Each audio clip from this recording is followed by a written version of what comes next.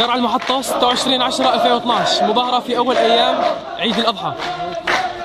رغم القصف والدمار الذي يتعرض له طريق سد المخيم يخرج شبابهم في المظاهرات الحاشدة مسردا للمدن المنكوبة. يا حلب.